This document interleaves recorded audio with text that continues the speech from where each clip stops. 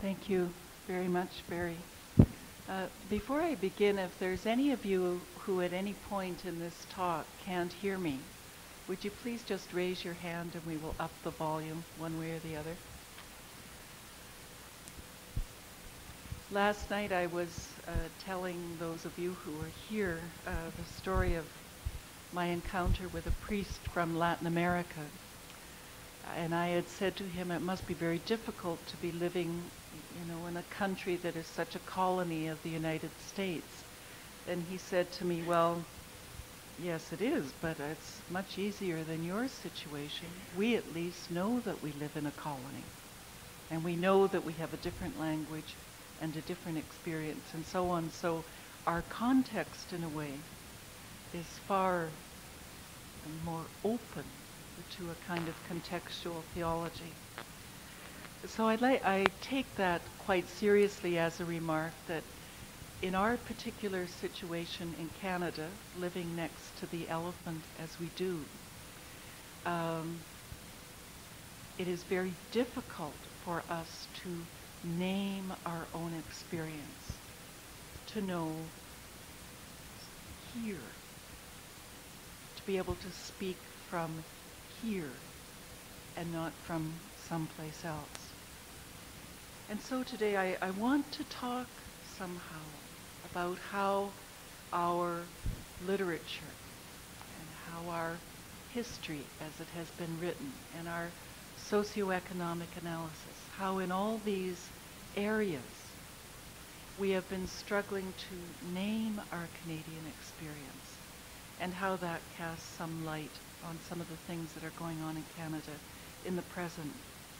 And I see this process very much like what happened with the disciples along the road to Emmaus. Jesus did not come up to them and say, this is your experience, this is what it means, this is how it is a Christian experience, and this is how it isn't. They were simply walking along the road. And they were talking to one another about what had happened. And Jesus comes up beside them and doesn't really say all that much. But it's in their exchange and the discussion about what had happened that they begin to recognize Jesus in the midst of that. And I think that's what we are invited to do to exchange, to share with one another our understandings of what's happened here in this country and in our experience. And in trying to do this, I want to turn first to some examples from literature. As I mentioned last night, I have this secret life as a writer. So I tend to know a bit more about literature than I do about music or art or some other things. But I think that literature is so important. And increasingly in Canada, we're recognizing it as one of the most important activities that's going on in the country. And there is a theologian, Sallie McFague, who's recognized how important literature is in the development of theology, how important metaphor is. And she says, identifying and elucidating primary metaphors and models from contemporary experience. This is the task of theology, to express the Christian faith in our day in powerful and illuminating ways.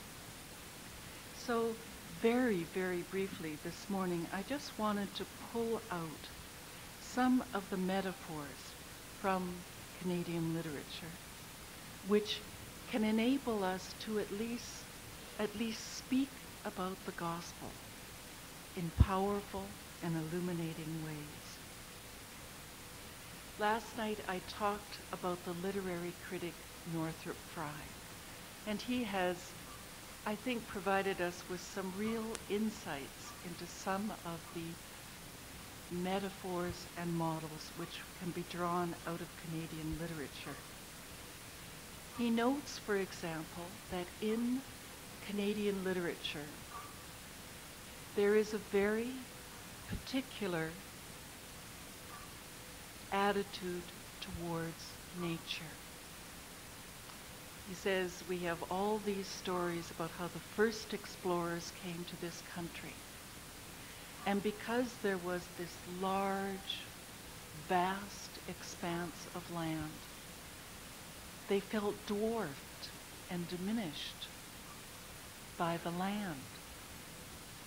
And so instead of the American experience in which the early explorers wanted to dominate the land, the first, not the first people here, the first people from Europe who came here felt dwarfed by this great land and their desire was not to exploit the land or to dominate, but simply to survive. And that is a, a fundamental difference, he says, between what it means to be American and what it means to be Canadian. He says, too, that in the face of the vast forces of nature, the weather, the snow, people drew together in little groups and protected one another in tiny little garrisons. And he says, in these garrisons, we developed a garrison mentality. We looked, we drew together, and we wanted to uh, live, he says, and this is in the Canadian Constitution, by law, order, and good government in the garrison. But we were fearful of everything and everyone outside of the garrison. And I think this insight is very instructive for us because so often in Canadian literature, and now even, it was the native peoples who were identified with these wild and uncivilized forces of nature that were so threatening to these little outposts of civilization. So we see a long thread in which the natives were somehow outside whatever we were about. Now, Margaret Atwood, another Canadian writer, has also analyzed our literature and pulled out and pulled forward this whole theme of survival. And she says that every culture is held together by a single unifying symbol. For example, in the United Kingdom, there is the recurring symbol of the island, primary metaphor in that place. And in the United States, the symbol of the frontier is so essential, not just in their literature, but in the consciousness of the people. Now, last night I was talking about how most culture is really regional. But she's saying there is a way in which the experience of fighting to survive is true of all regions of the country. And she says, in the beginning, we were struggling to survive in a kind of minimal way against the weather, against the native people. And now we are talking about political survival. We are always a country that is barely just happening. And I think all of us who sat through the Meech Lake crisis last May, June, you know, we've experienced this sense of we are just barely surviving. She also says that throughout our literature there are many images of the victim, you know, animals who have been trapped. And she sees this as central to the Canadian consciousness. She says, for many of us, we deny the fact that we are a victim. either economic victims, victims of our geography, of our history, or whatever. She says, or we may say we are a victim, but we explain it away with some reason, like, oh well, this is because of the economics of the time, or this is God's will, or it's because of my family background. She says that the real challenge for us as Canadians is to admit that in many ways, politically and economically, we are victims, but to go beyond that and to begin to act creatively as non-victims. In other words, to refuse to be defined by the political and economic forces or ecclesial forces that keep us powerless. So I puzzle about this, and I think it's extremely important for us as Canadians, for us as Christians. There are so many ways that people in this country, and increasingly so, we talked about this last night, people say, well, it won't make any difference anyway. Nothing I do counts anyway. That's the attitude of the victim. And that isn't just a personal problem. That is something that tends to be true because we are citizens of this country. Now, where we need to challenge ourselves and where the gospel challenges us, as we are talking about this and Jesus is walking along with us, we need to say, but is there a way in which we prefer it that way? Is there a way in which that we prefer to be victims? Then we don't have to be responsible. We don't have to shoulder the burden of guilt that may come from that. And so in strange ways, I think, often we choose to remain victims. We act in ways that are guaranteed to fail. We would rather not succeed because then we would have to be responsible. I mean, I think this is what temptation means in our context. I think this has been very powerfully stated by a Canadian writer, Joy Kogawa. She's a Japanese Canadian. And as a, as a young girl, she was in, in, interned in a camp during the Second World War. So she knows what it means to be a victim.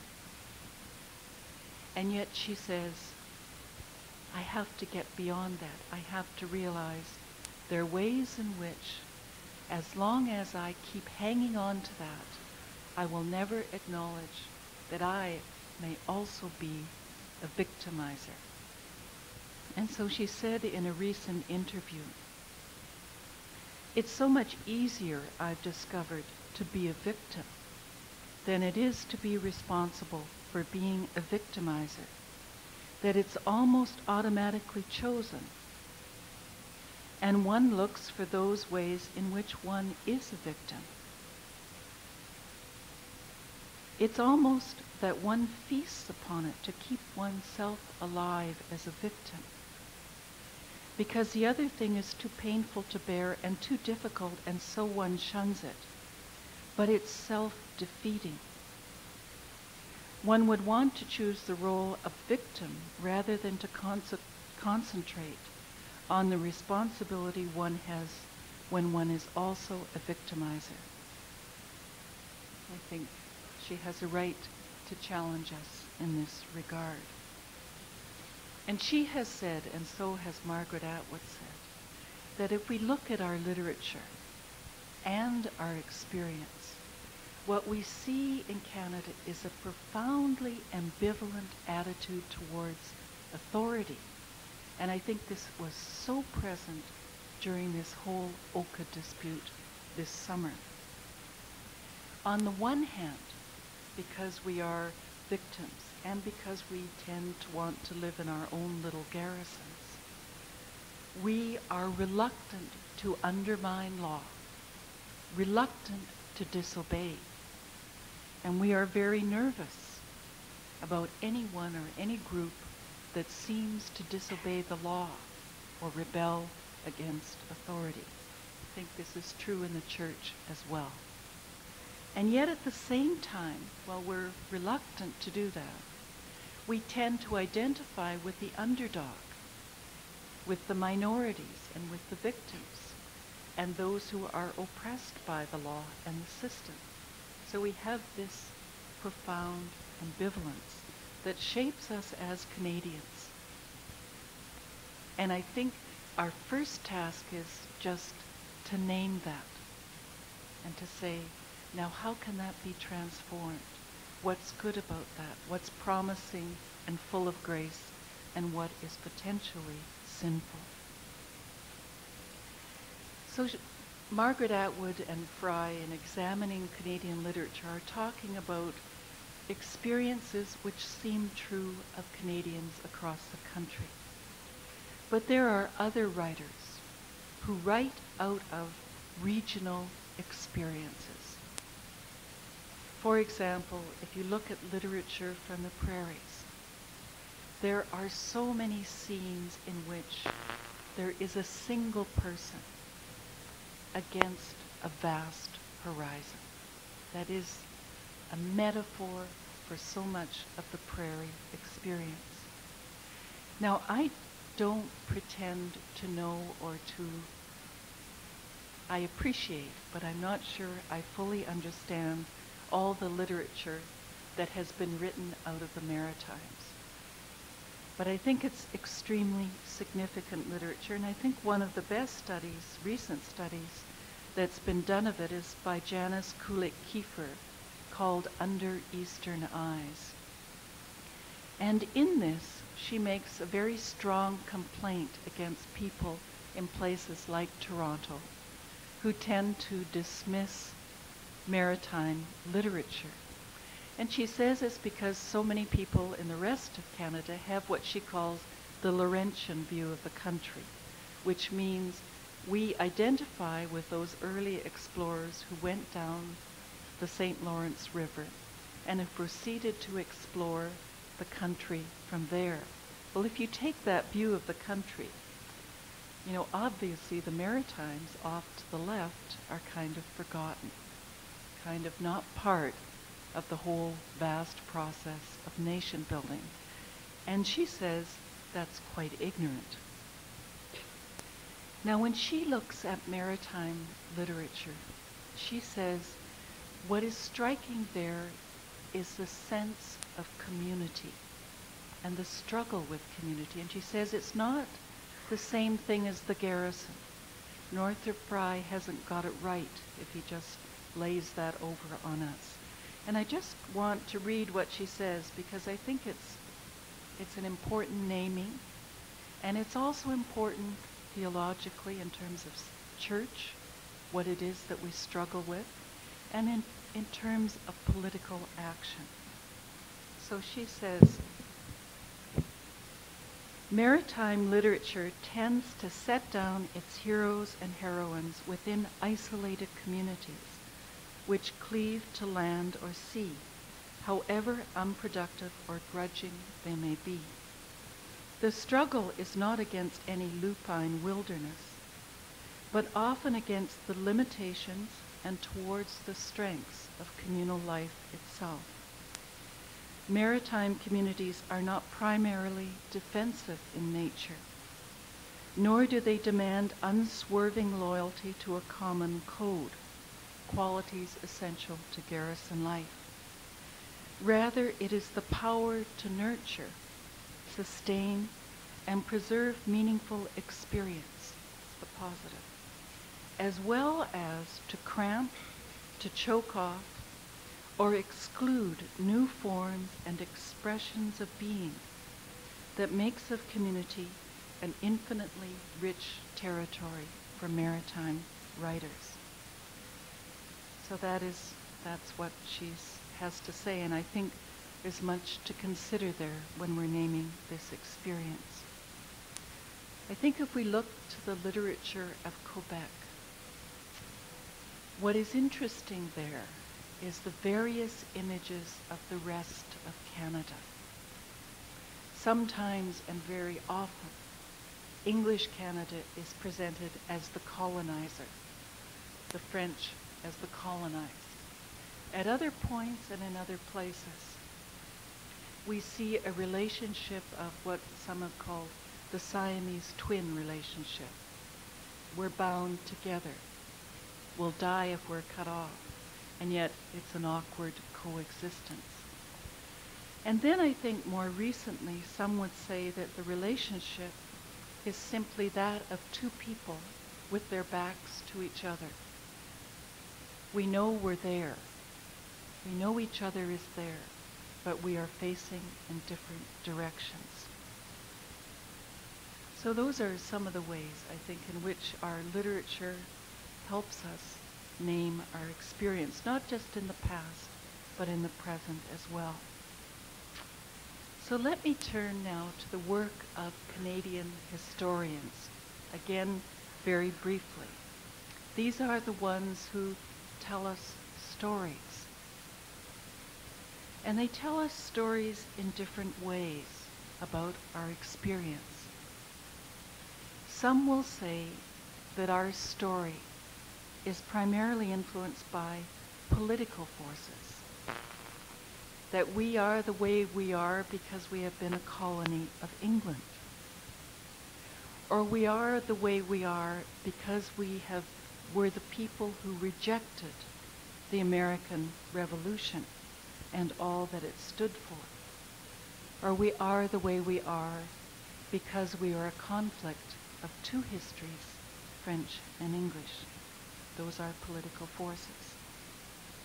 Others will say that our story is more shaped by the environment, by the land. We are shaped by the frontier. The West is the place of excitement, and the East is the stodgy old conservative place. Or they will say, we, our story is the way it is because our country is primarily driven by three large metropolitan centers. And around these centers, in the hinterland, is the rest of the country. So we can read our history as that of the conflict between the metropolis and the hinterland. Or we can look at our whole country as the hinterland for a large metropolis, New York or some place in Europe. Now, those are some of the various theories of Canadian history, and I'm summarizing them briefly. What I find interesting is that in so many of our textbooks until recently, there were so many chapters of our history that were left out. So we get all these books about Canadian history. And the best one could say about them is that they were very boring. It looked so tolerant, so nice, and so innocent. And I think it's only recently that we are becoming aware that there are some very dark chapters in our history. For example, the expulsion of the Canadians. That is not new to you, of the Acadians. That's not a new chapter to you. Lots of people in the rest of Canada don't know about it. They really don't. For example, the chapter about Louis Riel, the way in which the Japanese Canadians had all their rights and property stripped from them in the Second World War, the way in which our country had the worst record in the Western world during the Second World War regarding Jewish refugees. We let in less than any country in the world. The October crisis, the suspension of civil rights, the suspension of civil rights of the Communist Party, of the Jehovah Witnesses in Quebec. There are many dark chapters. And we prefer to think of ourselves as innocent and as tolerant. And I am very convinced that that is very dangerous. To the extent that we do not know the evil we are capable of as, as Canadians, we do not know the good that we can do. To be innocent is to remain with a sense of powerlessness that does not enable us to act effectively in history. I think it's very dangerous.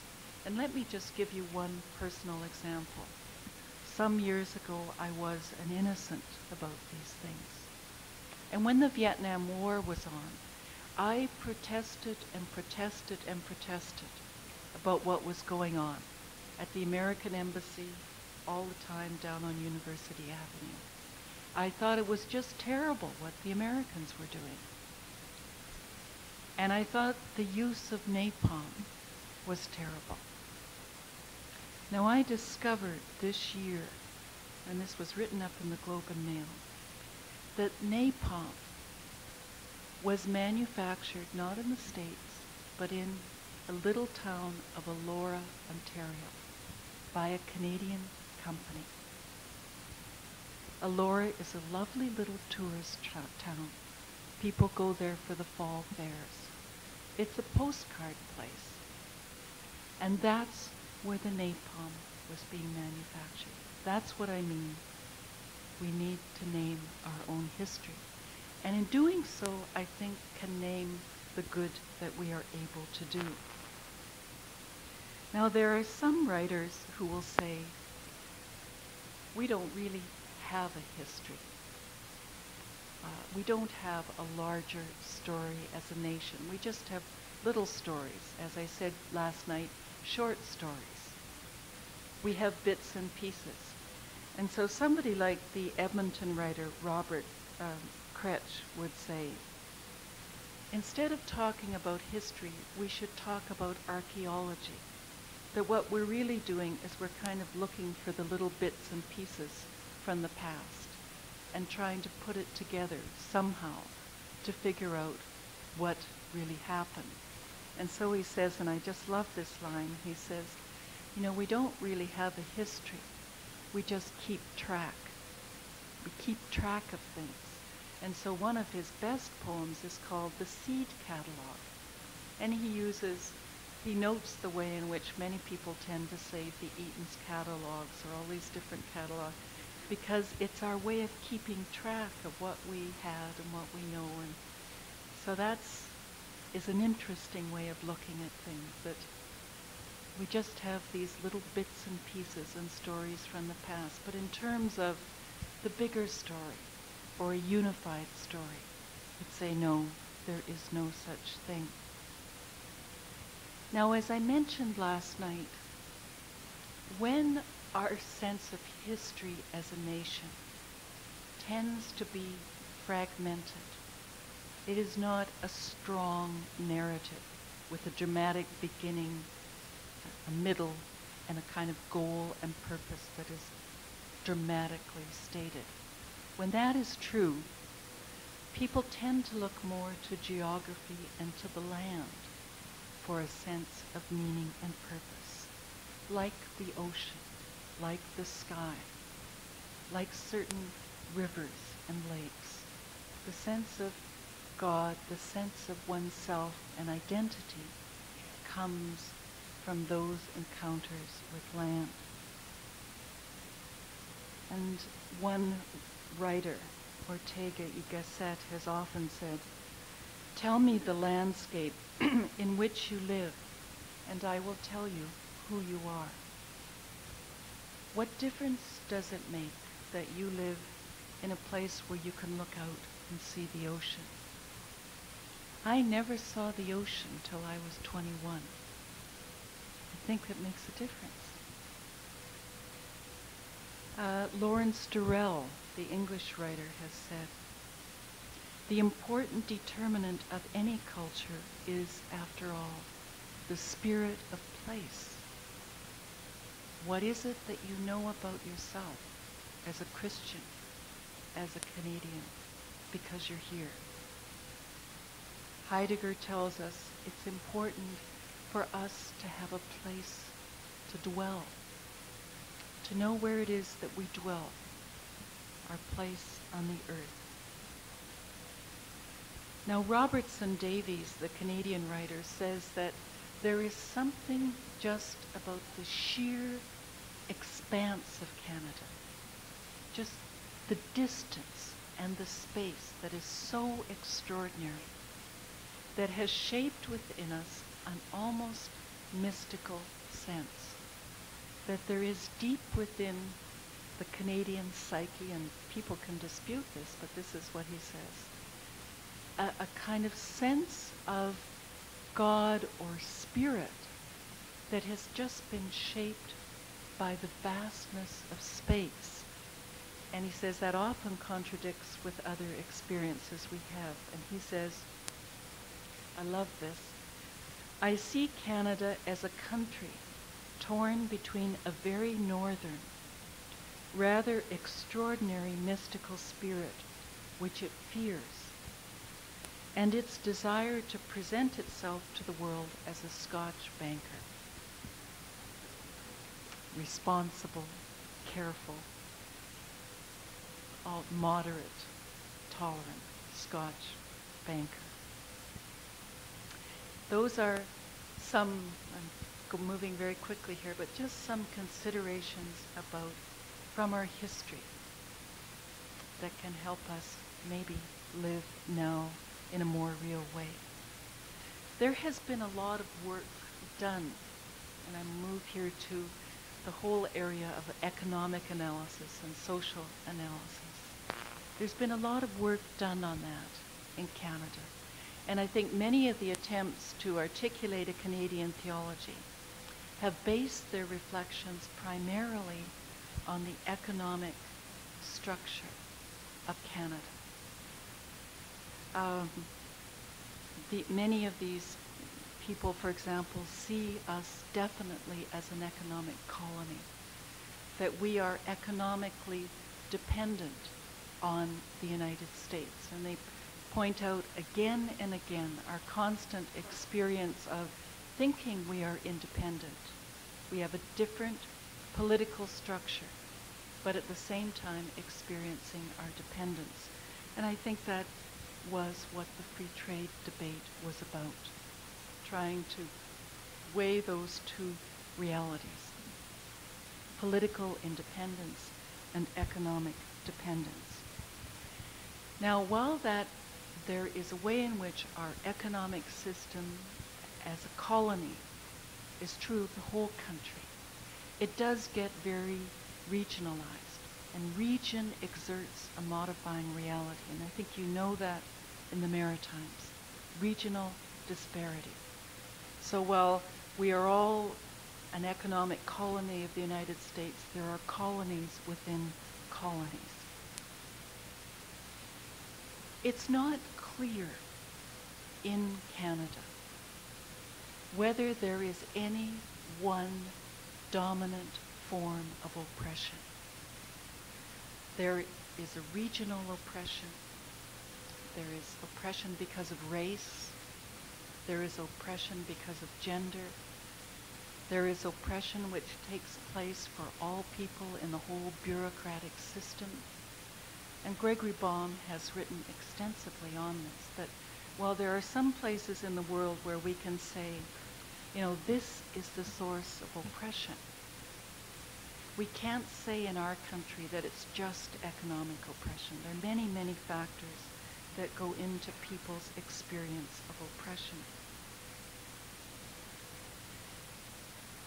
What we do know, I think, from our economic analysis is that there are those in this country who experience themselves as powerful, as having some power. Now that may be because of money,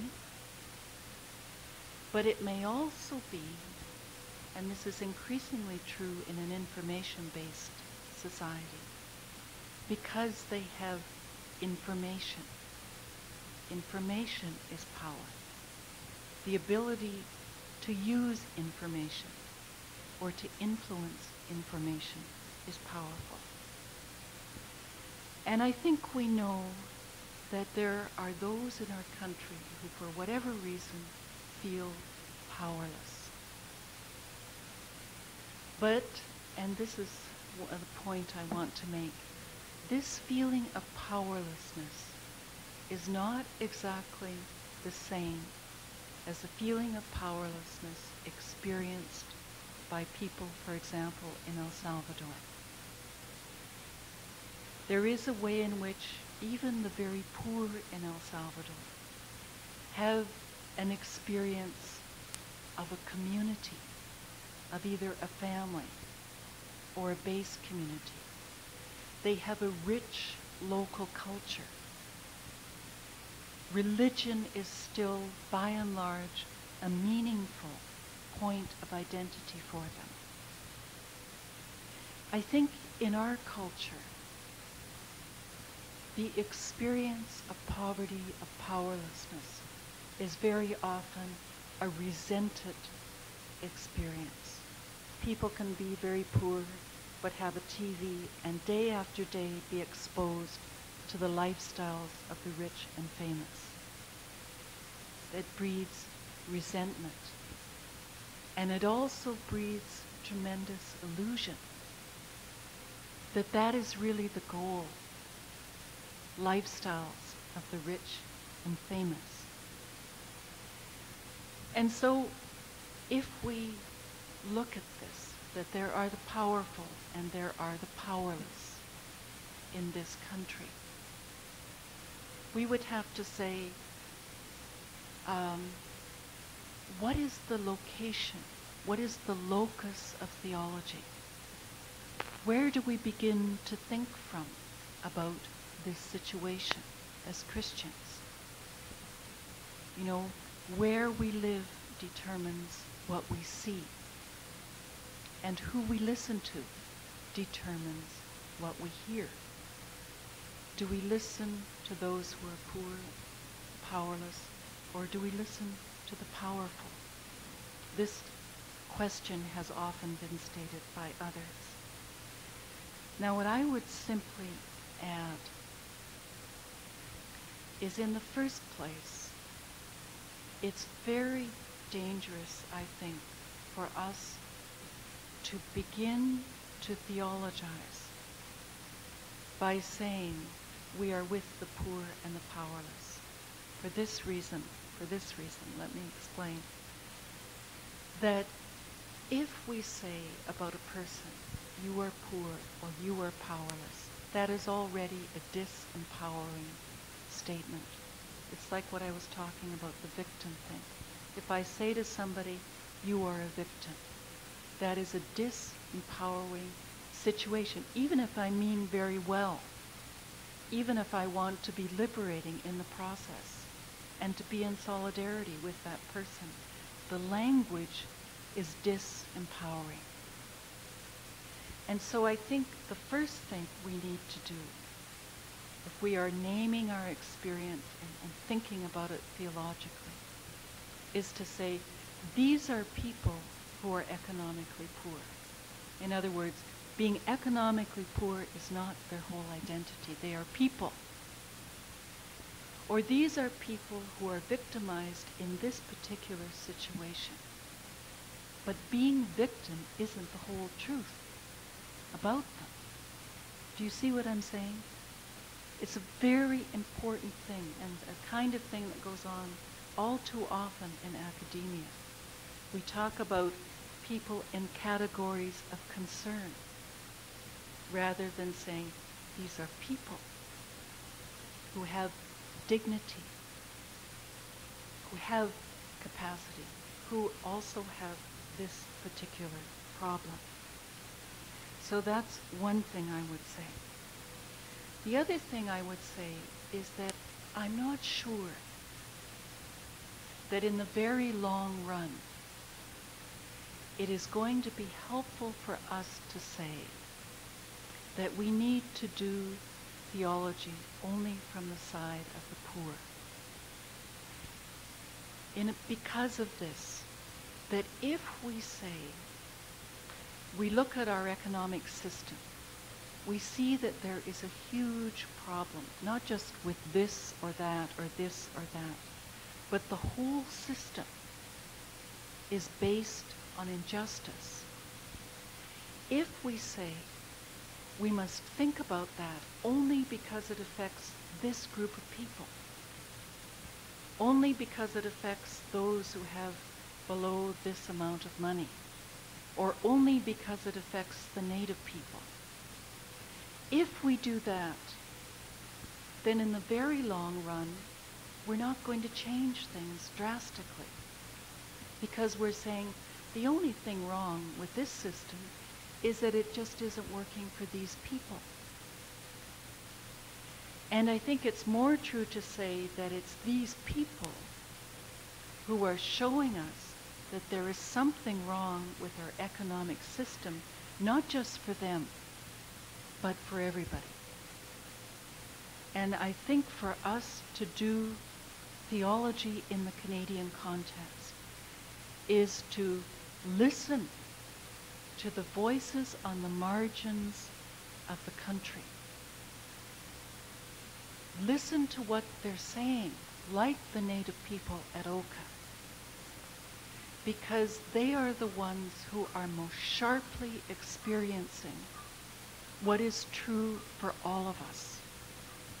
And that's what we need to do is first listen to where the voices are crying out and then say, and in what way is what they're saying true for all of us? And I do think that much of what they're saying is true for all of us.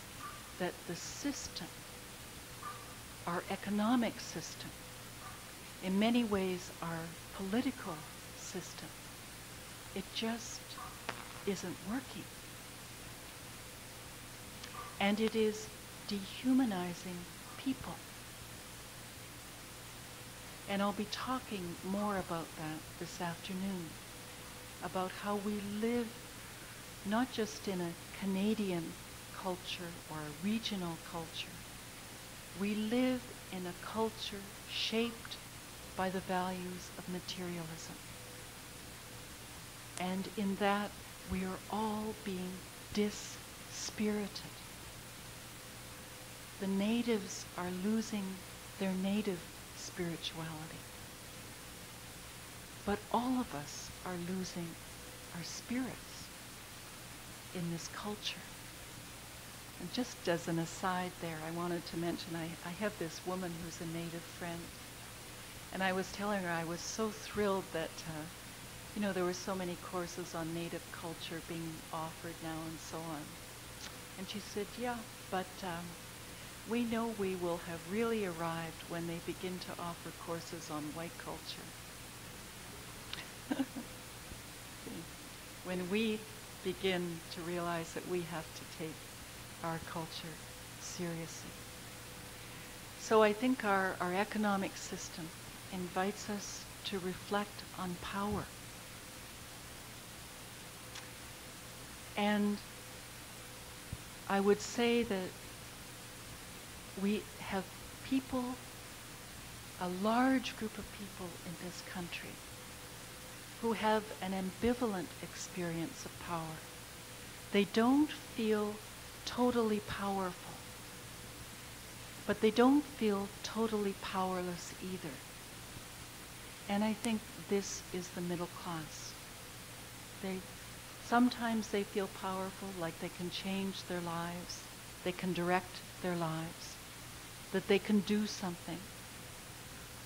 And at other times they feel totally powerless, like the taxes, like the GST, mortgages, all the economic realities of the country. And I think for us as people in the church and as Canadians, the fact that we have such a large middle class is extremely significant. We can't simply take a theology developed in Latin America where there are the, such extremes where the vast majority of people are poor and a few are rich. We can't take that social analysis and just flip it out here easily when we have such a large middle class. Now, somebody here last night, and I wish she was here because we, we could have a wonderful discussion, said, I've just given up on the middle class. Forget it. After the free trade debate, she said, they're just going to sell out every time. I mean, she was, she's, was quite clear on her feelings on this. Now, I said to her afterwards, and we can discuss this, um, you know, I think it's important for us not to give up hope on the possibility that people of the middle class may see that what the economically poor are suffering, that we are all suffering from the same system.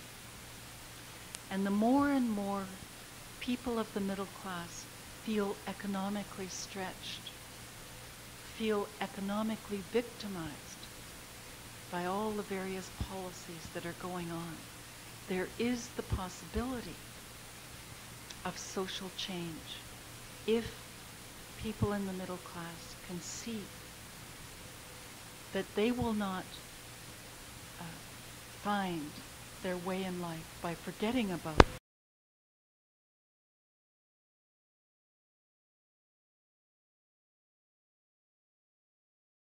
Now, when one does a lot of uh, social analysis in this country, one finds oneself getting extremely suspicious. In other words, you begin to ask questions like, who's really running things? You know, in whose interest is this?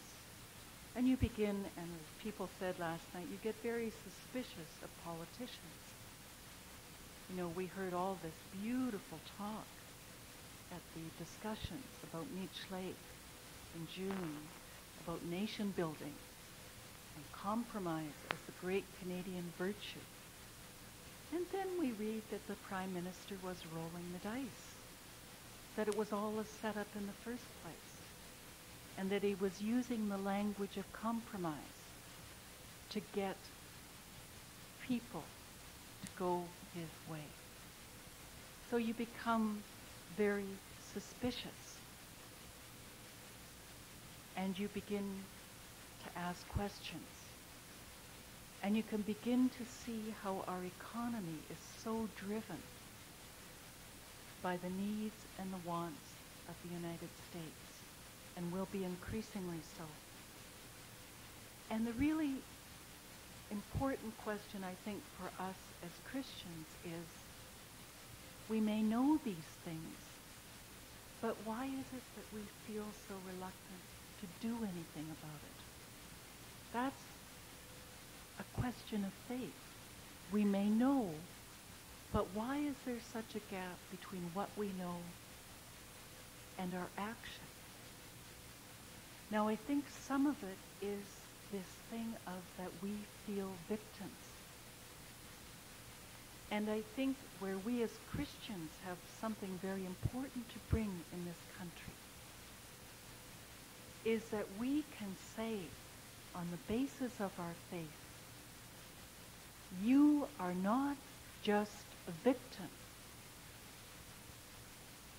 You are of God. You are a son, a daughter, a brother, a sister, a mother, a father of God. That's who you really are. So we have much to say in this context, I think. Another reason I think it, that we fail to act is that we lie to ourselves. We tell what Christopher Lasch has called the vital lie. We know something, but we lie to ourselves. We say, but it's not really true. And we lie to ourselves because we are terrified that we might have to change our identity if we told the truth. If we told the truth and said there is something very wrong with our economic and political system. And we are citizens of this country. If we started to tell the truth and to tell it to one another, it is just possible that we might then have to take responsibility, that we might have to act politically. But we are kept from acting because of our own desire often. I'm thinking this is, this is not a personal problem. This is us as Canadians. We want to remain victims. And the dominant ideological forces of this country want us to remain that way. So we are fed a daily dose of consumer advertising that we really should want to live the lifestyles of the rich and famous. And that if we don't, it's because we haven't been loyal or we haven't worked hard enough. Then it's our personal problem. So these are some of the reasons, I think, why in the face of the truth of our economic reality, we remain politically inactive. But the most important reason, I think, is that right now, as a country, we lack an alternative vision. An alternative vision socially, humanly. And I think what most people are almost despairing of now is that they hardly see any alternatives in the political parties.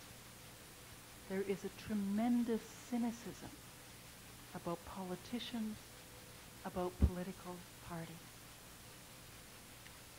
And I think this is where we as Christians, as people with a biblical vision, I mean, we do have a vision an alternative vision of what it means to be human, what it means to live together as people sharing a culture, an economy, politics. We have a vision of what the reign of God, the basics of that are. We don't have the particulars. But this is a time, I think, in this country for us to speak about vision. Now, as I said yesterday, there are ways in which very few, increasingly, are looking to the mainline churches for vision. But remember that the church is all of us. It's us here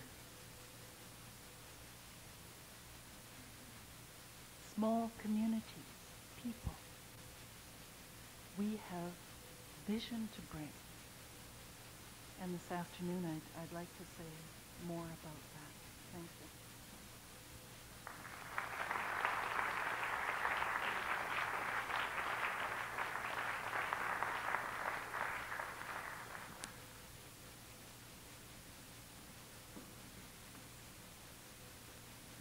Thank you, Mary Jo. Uh, Sister Mary Jo is willing to entertain questions or comments. Um, there are two microphones in the aisles. If you um, think you can't make yourself heard for everybody, would you please use them? And uh.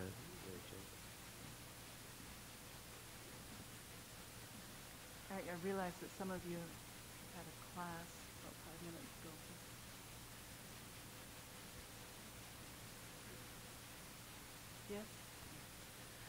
Uh, my name is Barbara Remscheid. I was at a meeting recently of the Canadian Council of Churches, and it took place in Quebec, not too far distant from the events at Oka. And as you can imagine, there was a lot of discussion and concern and anguish about those circumstances. On the occasion of that meeting, we were welcoming into the Canadian Council a small Ukrainian uh, denomination from Manitoba and that was also being celebrated in a different part of the meeting. Mm-hmm. That had already happened when these discussions began about Oka. And as this discussion went on and the sense was given that this was something new and urgent and something that was sort of new to, Cana- to Canadian experience, the young Ukrainian priest who was there on behalf of that denomination said with a certain amount of exasperation, I really resent the implication that this is something new, particularly the violence being attributed to the uh, Sûreté Quebec. And he said, if you came out to my community in Manitoba, I could take you to a graveyard where you'd see lined up tombstones of young men that say, killed by the RCMP. And these were young men killed in labor violence uh, and strike action. Uh, the, what I would like to ask you is about uh, how much experience you have, and this is a huge question to ask in a context like this, but Why in the not? literature of uh, narratives of struggle and the stories of experiences of struggle in Canada, I know they're, they're very buried. the reasons you gave when you explained about the history books, they're hard to find. They've only e- recently been unearthed, much of the labor history and women's history. But I'm wondering to what extent you would see any hope in those narratives, those kind of minority narratives, as providing resources to us to get out of our, our yearning for innocence? Um, or do you think that they're also tainted by the same Canadian characteristics that you've outlined? Is there anything about the Canadian experience of struggle in small communities across Canada that overrides that larger sense and can be a resource to us uh, that we can turn to, particularly groups that we would be tempted to call victims, but to look to them as sources of salvation for our paralysis? Uh, excellent question. Thank you. And I, I'm not sure I can do justice to it. I, I am somewhat aware of the tremendous effort on the part of many groups to recover their history. Um, I'm part of a little effort to set up a, um, a couple of schools of Native writers across the country. And their work will be to listen to the oral tradition, the oral stories, and then to kind of translate those into, well, we'll see what's going to happen. Uh, I think the deep question you're asking is, in writing those histories, um, what happens? Does it just increase the sense of victimization you know, uh, on the part of people? And I think what Margaret Atwood is saying, that the very first step to liberation is, first of all, you've got to name the victim experience. That there has been, on the part of several groups in this country, an experience of victimization that is not just unreal, it is real and needs to be named as such. Her point is simply, we can't stop there. Any of us. I mean, it's one thing for us to say, we have experienced this as oppression. But then she says we need to become creative non-victims, which means we will not let ourselves be defined by that history. We will not deny it, but we will not be defined by it. And that's very true, for example, in terms of, say, women in the church. We do not deny what is happening or happened, but we will not be defined by that. And we do not want, and this is where real liberation comes in, we don't want to repeat ourselves those patterns over others. You know, so that's part of the question. And I think what Joy Kogawa is saying is it's very important for us to write the history, these histories. And she's, she did it in her novel Obasan. But she said, it must not blind me to the truth that in some ways, yes, I have experienced being a victim because I am Japanese. But in other ways, I could be a victimizer because I do live in a first world country. I do participate in this economy. So I am both, and I can't let one experience blind me to the, to the other. And I'd say the flip side may also be true that, you know, some guilty white liberals see themselves mostly as victimizers. And maybe their challenge is to realize, you know, in what way are they also victims of a system and so on. Um, I think the, the further question will be for us, you know, the, the, the listening to one another's stories of many groups. And in the, the um, interview that I read to you from Joy Kogawa, she says something really important. She says um, about all the various minority groups in the country. Um, one of the problems we have is the competing voices of the victims, like the Ukrainians, the natives, the French, whatever. Whether we're women or whoever we are, the various minority groups, we become competitors for center stage. This tends to nullify a lot of the change we could bring about if we could identify with and assist each other. So telling our story should not prevent us from hearing the others. As I proceed through political endeavor, I've been seeing that change does not come about when one remains solely in the role of the victim.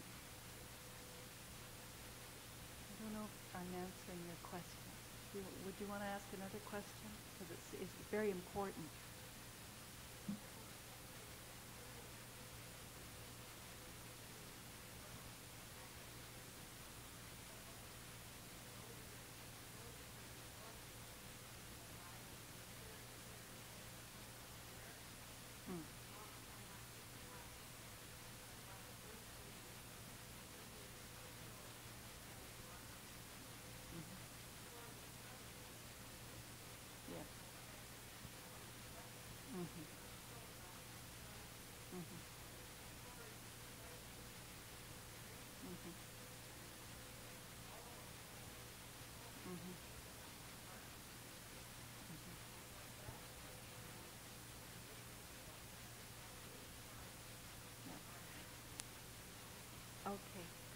I got your question. So, I mean, one thing is to tell the story, but there are also stories of liberation and resistance. And to use the, the Ukrainians, I'm certainly aware out west, their, their resistance wasn't just resistance to arrest.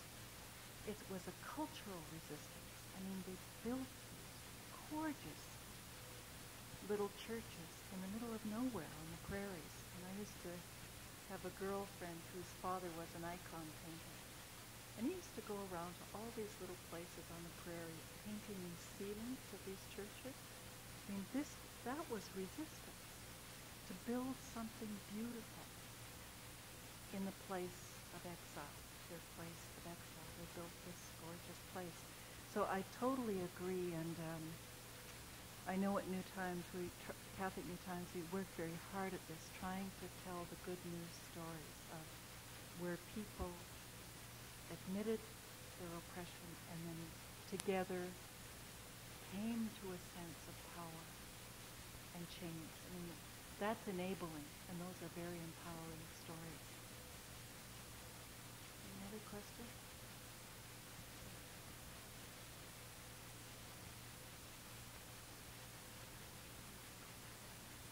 I'll repeat your question, Betty. Uh, uh,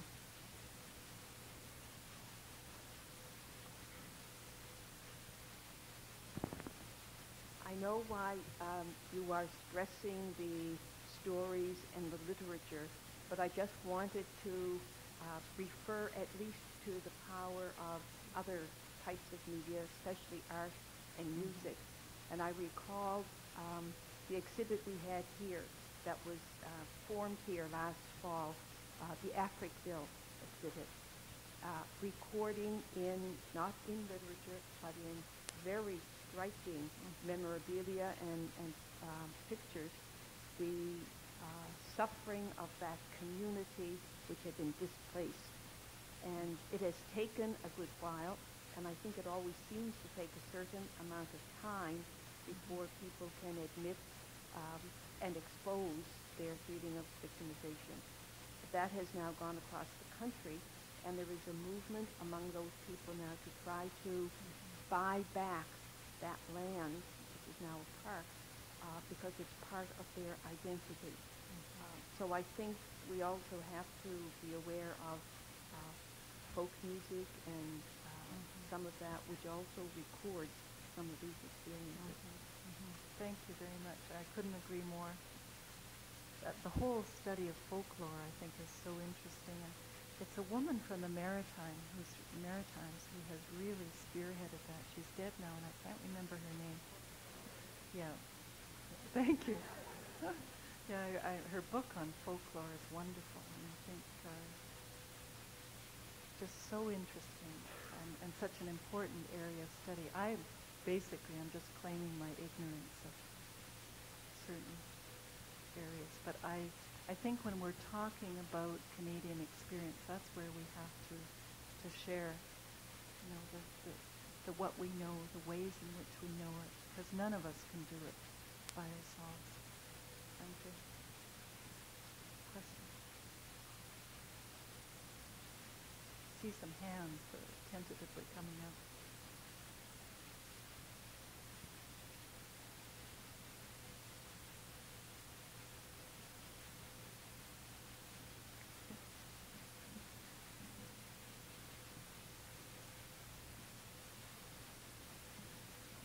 Thank you, Sister Mary Jo, for a very enlightening analysis.